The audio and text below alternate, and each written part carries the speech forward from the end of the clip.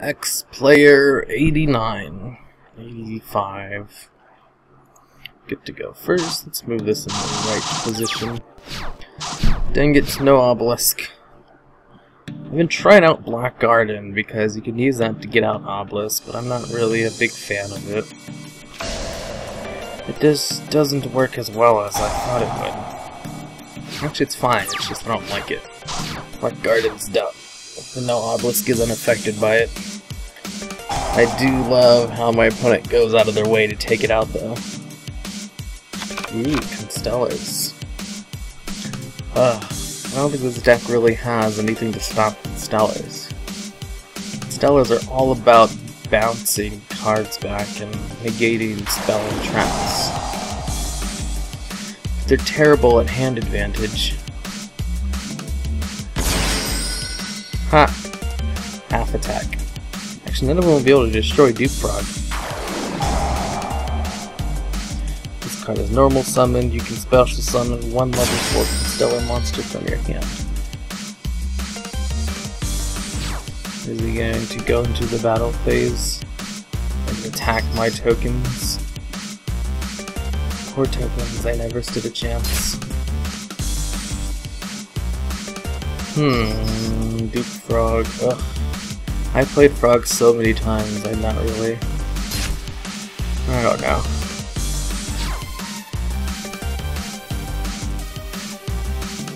Still, I'm surprised he didn't go into that one card. I guess he doesn't want to have the attack half. He's gonna save up for it, MST to destroy Black Garden. Black Garden screws him over, but not me. Symphony Edition. I can't attack over the Symphony Edition. Symphony Edition. Edition. Edition. I'd like to end your turn. How many decks do I have, actually? I know I have a ton. I could go into Sea Lancer, but that would be kind of pointless. Let's set up the Dupe Frog Loop. The Dupe Loop. That means he can't attack any of my monsters. End turn. Remember, I was checking my 2008 Yu-Gi-Oh! World Championship for my DS that I bought back in 2008 or 9 or whatever. It was 2007 when those games came out. I don't know. I checked through it, and I was amazed at how I had every single deck list filled out, and that game gives you 120 deck list saves. So even back then, I was crazy about making decks. you can't attack Dupe Frog. I can't believe I made 120 decks back then. Dang. All of them were kind of bad, because that was back before Synchro Monsters. And before I knew the meta game better. Hmm, Nimble Sunfish. Damn, I can't really do anything this this is gonna be a really long, boring duel until I draw Obelisk. Actually, no, I could attack with the Rose token. There's no reason not to. How many decks do I have now, actually? I know I build a new deck every day. Because I love building decks more than I actually like dueling. I actually don't really like dueling. It would be awesome if I could just build a deck and have someone else test them out for me, so I wouldn't have to.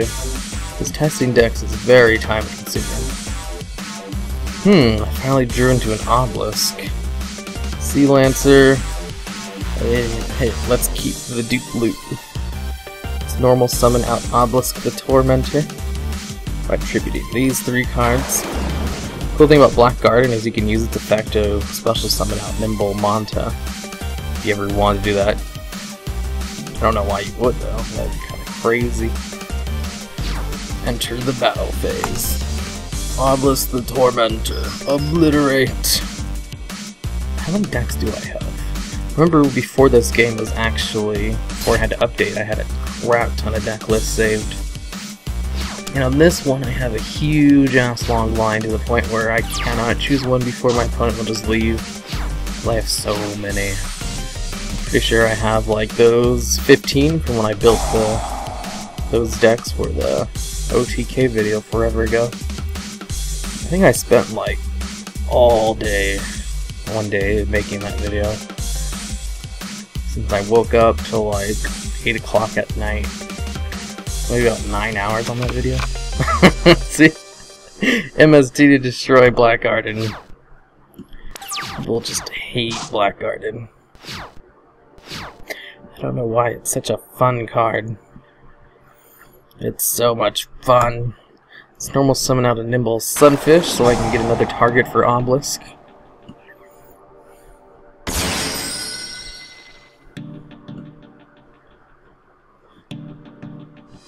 You have a Torrential Tribute? Because that would blow up my field. Allow me to search out two Swap Frogs. Plus I've got the Dupe Loop. The Dupe Loop. I don't think it protects Nimble Sunfish though. The Dupe Loops. What is it? There's those 15 from that one video. And then I have uh, about 10 different versions of Gear Town. I love that deck. It has been ruled officially that Kuraz the Light Monarch's draw effect happened simultaneously, so it does not, in fact, allow Gear Town to miss timing, which is what many people on Reddit argued about when I was so gracious to share that deck with them. The Yu-Gi-Oh community on Reddit is terrible. It's just full of a ton of very cynical people who will um, argue every single minuscule point of your deck. Even when you do prove them wrong about everything. But that was just the three times I decided to post decks up there. I need to summon another monster. I could use a Effect Veiler to bring out Chaos Bird. Did he finally draw into a... Oh, he finally got rid of my Black Garden. My Black Garden! Wait, does this effect activate? Um, when this card is sent from the field to the graveyard. Oh, it does have that. Nice! I'm not gonna use it for that, but that is nice. No. Oh shit, I drew. Damn it. I'm supposed to set that guy face down. Ooh, that's bad. That's very bad. What? I can still... Um, I could bring out that one card, but... I don't see the point in that. With all those face-down cards. Battle Phase. Obelisk the Tormentor.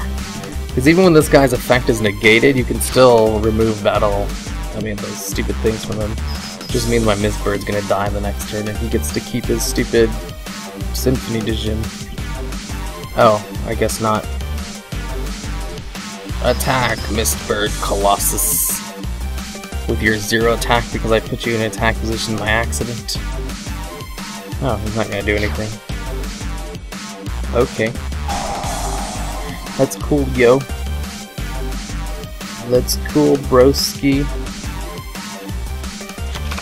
Some Treeborn frogs to grave, and end my turn. Dark Hole can kill Obelisk, a Torrential Tribute can kill him, and anything else that doesn't target, like Dual Dragon Archifiend. That card is so awesome. Constellar Sombre. Or if he has Honest, because his whole deck is all about light type monsters. But with Mist Bird Clausolas, that I stupidly put in attack mode make his attack zero. Hmm, plus I still have my dupe loop up. Means he can't attack me even if he does get rid of Obelisk. But if he was gonna get rid of Obelisk, he'd have to destroy all the monsters in the field, so... Actually, Skill Drain works too, but Skill Drain is counterintuitive to Constellar, so he probably doesn't have that. Constellar Algiedi. Oh, another thing about the Yu-Gi-Oh community on Reddit. If you post anything but a deck list, they will downvote the hell out of your video, I mean your thing, and just talk crap about you submitting shitty content. I can't believe how bad they are. It's like so bad because like all the anime things I'm part of too, they're all so nice about everything, but Yu-Gi-Oh! One is just full of cynical people. Yeah, that's enough about that. This deck, uh, I guess Black Garden's really good because he just didn't do anything. Constellars aren't half bad. Then again, it's all about Obelisk, because Obelisk is pretty good.